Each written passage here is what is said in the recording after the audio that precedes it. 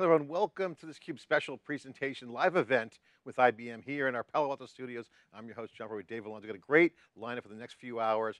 The future ready storage that's redefining the data center boundaries. Here with Silicon SiliconANGLE and theCUBE, with watch parties in Atlanta, London, and Istanbul. Dave, great to kick it off. We've got the next few hours, we're going to dig into what's going to be redefining the boundaries of the data center with storage. It's going to be a great lineup, um, great topic.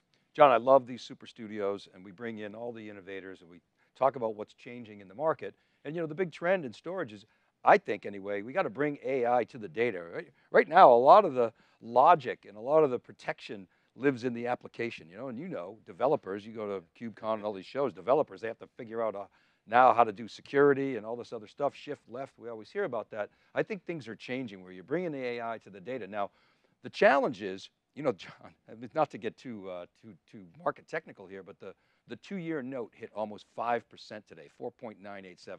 Why does that matter? Because even though you have all this AI tailwind, the reality is, is IT budgets, they're not growing. And every time the two-year goes up, IT budgets get tighter and tighter and tighter because CFOs are you know, concerned about discretionary spending.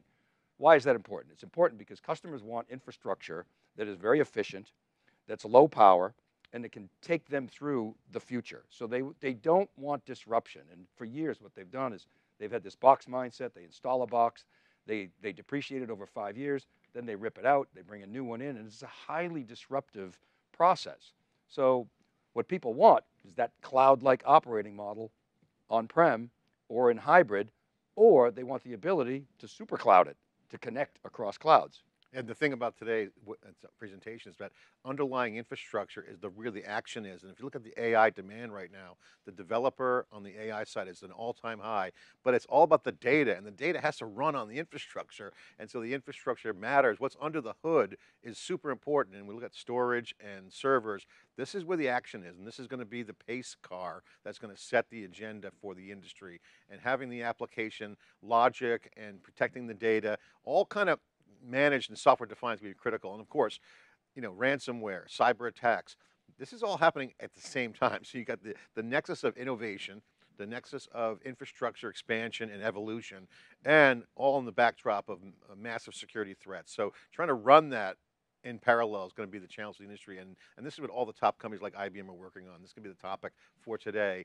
Future ready storage is key because that's where the data is. That's going to redefine what the future of the data center is going to look like. And ultimately the AI factories and the data centers, that's going to be the key. When you mentioned ransomware, the other big trend is, you know, data is everywhere. So data is physically distributed, but people want to be able to logically manage it. And the other thing is, look, if you can bring ransomware protection and detection to primary storage, then, then that just gives you a one up, uh, you know, because everything's so compressed these days in terms of the, the adversary. They're so capable, they're in, they steal, they wreak havoc, yeah. and they're out. And so we, to the extent that you can identify anomalies in real time or close to real time at the source of the data, that's a big win for customers. You know, for the 14 years we've been doing theCUBE, we've been in storage and watching storage evolve. It's the storage is the same game and it's always changing, but it's all about the data. And if you look at how that's managing with the cloud, for instance, that's a collection of storage devices still storing the data. Now that AI is here, it's the same game, Dave. You got to store things, you got to be fast, agile,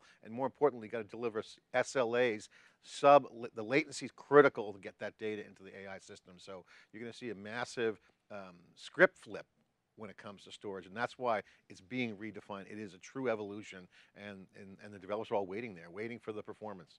You know, what hasn't changed is people want storage to be rock solid, lightning fast, and dirt cheap. Now, those three things, how to get there has changed. It used to be disk drives would break all the time. now it's rock solid means you have to protect the data and you have to protect against ransomware attacks. You know, lightning fast, if you're going to bring AI to the data, AI to the data, that's a different workload. And you know, dirt cheap, okay, well, power is a huge issue now. And, and uh, as I was mentioning before, non-disruptive migrations can dramatically lower those hidden costs. And so the, the nature and the parameters of those three things have changed while those three things you know, remain constant. Nobody wants to be caught behind. If you're too far out front, you become driftwood. You got to be on the wave. If you miss the wave, you, you could be out of business. And I think this is the focus of why the future ready uh, theme is, is relevant because everyone wants to be on the, on the wave right now because if they miss it, you know, it could be, it, the consequences are, are, could be really quantified as we're out of business potentially. So everyone's trying to do it in real time without disruption, and that's where it's hard. Storage, servers, infrastructure is hard. You can't just get that done overnight. So managing that's going to be key, and that's why I like the story from IBM. Yeah, I agree, John. And we're going to be covering this all day today. We've we've got watch parties going on from all over the world. Explain what we can expect there. So we're going to have people physically located, kind of like storage. You physically distribute the, the action and logically manage, as, as we say. We're going to have watch parties in Atlanta, London, and Istanbul. We've got folks out there. Shout out to you, and and other places. So we're broadcasting all of over. We've got people gathering.